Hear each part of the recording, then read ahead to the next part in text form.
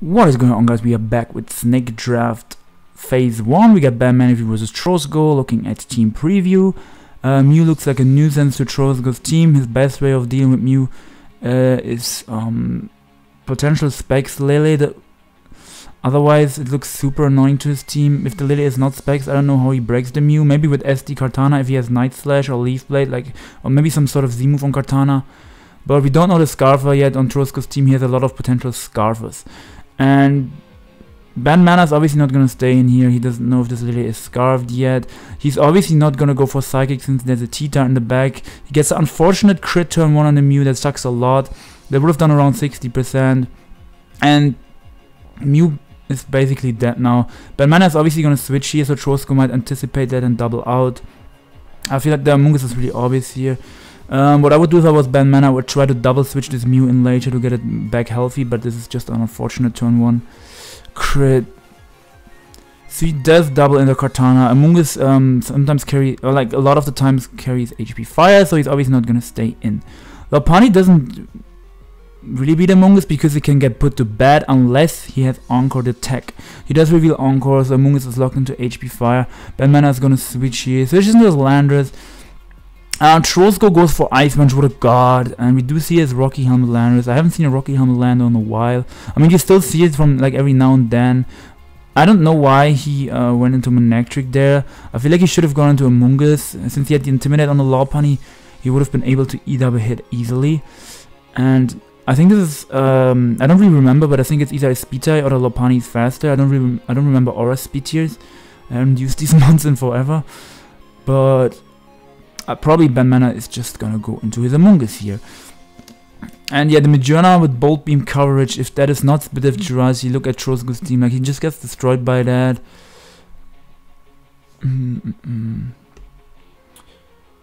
Also, Banter uh, makes it so Lele can't lock into a Psychic move. Manectric is really nice. If it, like the fire coverage from Manectric is cool. Flamethrower slash overheat looks kind of spammable in this matchup later on. But yeah, now he's on the defense at first uh, because like he, he obviously doesn't want to risk using Manectric, so he's just gonna go Amoonguss here, I would assume. Uh, if Trosko predicts that and doubles into like Lele or Lando, that would be a really good play. Um, I think the Lando has to be also defensive on Trosko's team because he seems a bit weak to Zygarde. So he's not gonna be able to like kill his Amoonguss with a Sky Strike or bluff a Sky Strike here because he just he just shouldn't be Sky Strike. But he can potentially get up his rocks. Uh, Batman can go for a Spore here. Trozgo could also put his Mantine to sleep because as sleep fodder. Mantine doesn't do do Mantine. Why can I not talk? Mantine doesn't do much this game. Uh, it loses to um, potential T-Bolt Mag. It loses to Manectric. Uh, it lets Mew roost up. It loses to Banter as well with Stone Edge and yeah, to almost everything on Batman's team. So like, if he doesn't want to go for rocks and let the Lando go to sleep here, he can, yeah, you turn out into Mantine exactly and put the Mantine to bed because like I said, Mantine just doesn't do anything this match. And the Lando's almost dead from Ben Mana, so rocks are probably not gonna go up on Trosko's side, so he doesn't need his defogger most likely. Um, this gives him a free switch into Tapu Lele unless I mean, sometimes Amoonguss carries Sludge Bomb, as he doesn't want to risk that and goes into Jirachi. Um, now we see if the Jirachi stays in and goes for U-turn, that would confirm that it's Choice Scarf. Um, but we have seen a Spore and Hidden Power Fire on the Amoonguss. So like Giga Drain is obvious, and the last move is either Clear Smog, Sludge Bomb or something like that. And Lele has really good natural speed depth, so I thought he potentially could have gone to Lily there as well. We do see Jirachi U-turns out on Manectric. I assume Manectric is just gonna go for Flamethrower slash Overheat. It seems to be a really good versus Trosko's team overall, and he's not gonna go hard Mantan here. Because uh, even though the Mantan is asleep, if the Mantan dies, um, Amoonguss could put something else to bed, which would be annoying for Trosko. And yeah, Lando eats it up, that's definitely, uh, I think, max HP Lando. HP Ice doesn't kill from here, so Trosko can get up the rocks. Uh, there's HP Ice, there's the Yache Berry that um, would have lived anyway, but the Yache Berries um, makes sense on Trosko's team actually. Like I said earlier, he's uh, really weak to Magearna, and Yache Berry can come into clutch in some scenarios with Lando versus Magearna. So if he... Oh my lord, he just goes for Volt Switch there, knowing that Trosko most likely wants to keep the Lando as fodder. And Ben Mana knows that and wants to get some momentum back. He gets his Amoonguss in. Um, so now he's either gonna go for HP Fire, try to damage the Jirachi if, if he predicts the Jirachi to stay in and go for Iron Head or Trick or something like that. Now he's not gonna trick his Scarf away. Um, he definitely wants to keep his Scarf. So I assume he's gonna U-turn here. So either into Mantine or into Tapu Lele. Like, I don't know how much Sludge Bomb does to Tapu Lele. I would assume it does like maybe 45% since the Mungus is kind of weak and Lele has good speed dev. It might do a bit more. But he might not even go for it. He might just go for HP Fire here, expecting Trosko to U-turn into the Kartana or expecting Trosko to stay in. I feel like Trosko's safest play would be the Mantine, but the more offensive play that puts offensive pressure on Ben Mana would be going into Tapu Lele. Uh, going into Tapu Lele means that Ben Mana would most likely sack off then sack off his uh, Landorus or his Mew.